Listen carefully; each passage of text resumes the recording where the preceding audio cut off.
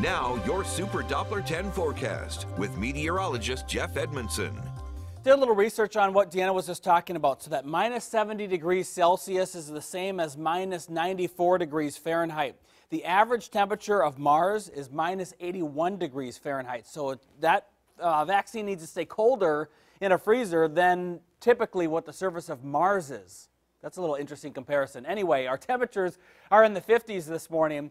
Imagine if it was below zero this morning. That'd be too cold. We have decent temperatures this morning. The average high this time of year is in the upper 50s to low 60s. So we're looking at comfortable conditions, a little bit warmer than normal as we're starting our morning. As we travel across the peninsula, we really don't find 40s until you head to Toano. 48 degrees your temperature right now.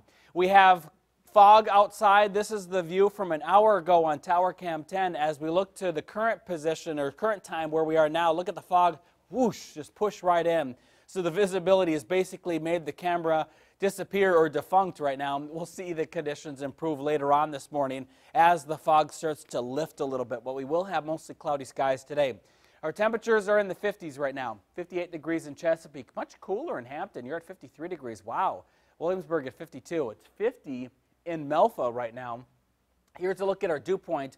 The temperatures are close to these numbers right now. That's why the fog is so thick across our area. There's also a storm system nearby. This area of low pressure, it's helping to develop a little bit of rain into southern North Carolina. We could see some of that rain drift across eastern North Carolina throughout this afternoon. I don't believe we'll see the rain much across the Hampton Road cities into the peninsula or even for the south side today. The storm system should stay just far south enough so we don't see the rainfall, but it is going to be traveling to the east, and that'll keep the fog and uh, the fog around this morning and the clouds around as we go into the afternoon. 65 will be the high temperature into Virginia Beach today. 64 degrees into Hampton, 63 in Gloucester, low 60s today for the eastern shore. The wind will be out of the north today. Pretty light, only 5 miles an hour. Here's a look at our Future Track. Now we have the clouds, we have the fog for this morning. The wind is fairly light today, not too strong. There's that rain this afternoon. This is at 1 p.m. So a few showers into northeast North Carolina for the afternoon.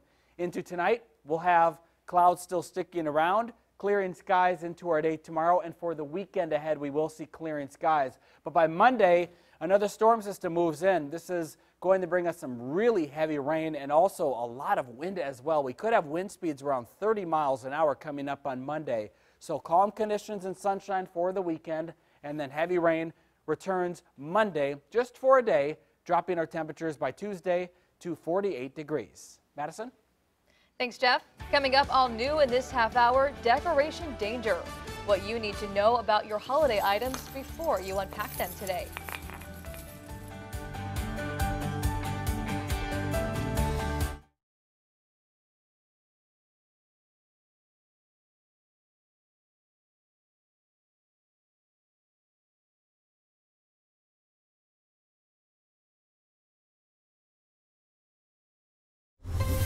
Now, your Super Doppler 10 forecast with meteorologist Jeff Edmondson.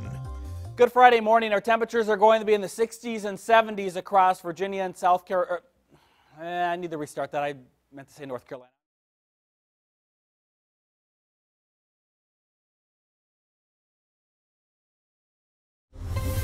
Now, your Super Doppler 10 forecast with meteorologist Jeff Edmondson.